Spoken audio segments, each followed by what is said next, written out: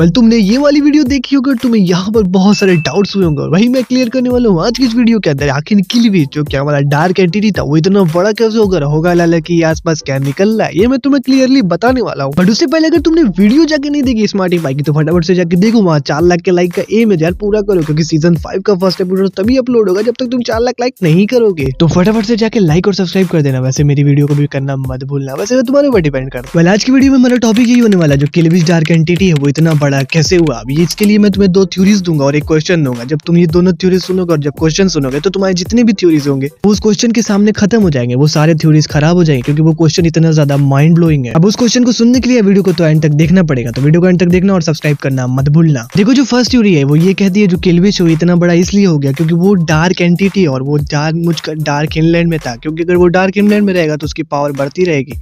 Obvious ही बात है, जब स्टीव ओवर वर्ल्ड में रहता है तो वो पावरफुल होता है बट जैसे ही वो नेदर में जाता है तो वो थोड़ा सा लूज पड़ जाता है। हालाँकि वहाँ पे भी वो पावरफुल होता है बट जितना ज़्यादा ओवर वर्ल्ड में होता है, वहाँ पर नहीं होता और तुम्हें तो ये पता हो किलविश सबसे ज़्यादा पावरफुल है पूरे हिमलैंड में तो। यार, ज़ाहिर सी बात है, ये पावरफुल तो रहेगी। देखो जो मेरी सेकंड थ्योरी उसके अकॉर्डिंग जो किलविश है, वो एक्चुअली उसके पीछे बड़ा करने को कोई और भी है। मतलब किलविश को इतना पावरफुल बनाने के पीछे हो सकता है कोई और भी अब तुम्हें लगता होगा कि अंडरग्राउंड लॉर्ड एंटिटी हो। और मैं तुम्हें बता दूँ की हो सकता है अंडरग्राउंड लॉर्ड एंटिटी के अलावा भी कोई हिमलैंड का बहुत ज़्यादा पावरफुल मिलन होने वाला है। वैसे सीज़न फाइव का पावरफुल विलन कौन होगा, उसके लिए मैंने चैनल पे वीडियो बना दी, हो सके जल्दी अपलोड हो जाएगी, तुम्हें पता चल जाएगा चैनल को सब्सक्राइब करके रख लो। पर ये भी कहा जा सकता है कि अंडरग्राउंड लॉर्ड एंटिटी ने उसे बहुत ज़्यादा पावर दी है, जिसकी मदद से वो बहुत ज़्यादा पावरफुल हो गई है। देखो, ये कोई थ्योरी नहीं है बट होगा लाला पावरफुल कैसे हुआ? तो इसके पीछे का यही सीक्रेट है। देखो होगा लाला जब भी अंदर से निकला था, जब क्राइम ऑब्सिडियन तोड़ के वो बाहर आया था तो वो कॉबल स्टोन के ऊपर खड़ा था।